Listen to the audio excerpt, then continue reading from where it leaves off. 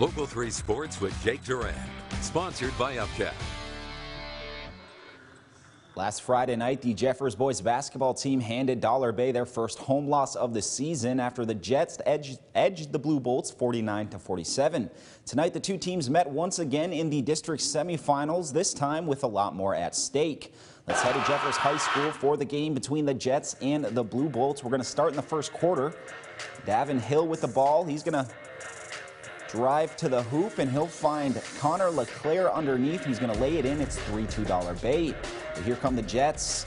The three ball here, no good, but Christian Hawkins down low to snag the board. First try on the putback, no good, but the second attempt is good. It's 4-3 Jeffers. A bit later, Blue Bolts up three. John Schultz going to bully his way to the rim for the bucket. Dollar Bay's lead is now just one point. Jeffers looking for the lead now. Isaiah Fromm with a strong drive. He gets the hoop and the harm. He would hit the free throw to make it 9-7 Jets.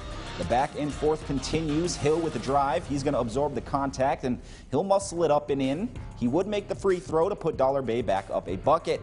Jeffers looking to answer. Nice ball movement by the Jets. Going to free up Lance Heinonen for the easy score. It's 11-10 Jeffers. Second quarter, Ashton Jenke, the Copper Mountain Conference Player of the Year, going to take the hard foul, but he gets it to go plus the foul. A few minutes later, Hill is at it again, putting his defender on skates.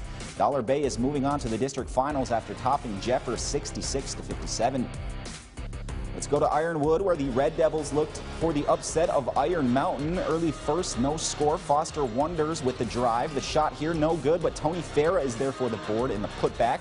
Now, Farah doesn't get much press, but he works hard, and he's important for the Mountaineers. A bit later, Wonder staying aggressive. Nice finish with the finger roll with the left hand. 6-1 Iron Mountain. Staying in the first quarter, Ironwood's Matt DiGiorgio going to see a lane. He'll slice to the rim for the score. Mountaineers' lead is now just five.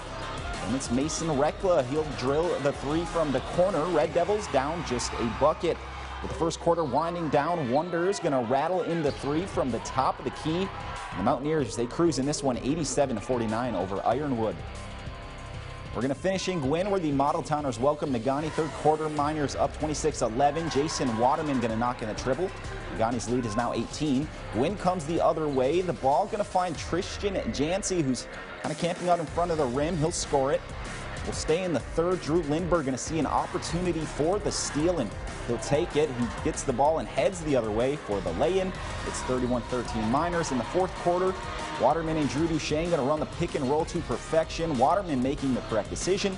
Drew Duchesne going to lay it in. Negaunee, they run away with a 66-33 win over Gwinn. But, you know, we we shoot the ball well, and then you get a little bit three-point happy. And with the nerves and everything, it, it was a point of emphasis. We wanted to attack the rim early in the game, and then and then as we got into the flow, then just play our normal offensive game. So definitely part of it early in the game. More boys district semifinal scores for you. Marquette defeated Gaylord in a thriller, a 60 to 57 win at the buzzer. Munising is moving on after topping Westwood 38 to 33 in overtime. Calumet bested L'Anse tonight 50 to 40. Escanaba defeated Kingsford 68 to 57. Menominee, they take care of Gladstone 54 to 41. Trout Creek 57, Ontonagon 45. The Panthers are moving on. Rapid River cruises over Superior Central 70 to 40. And North Central going to run away with a victory over North Dickinson 64 to 33.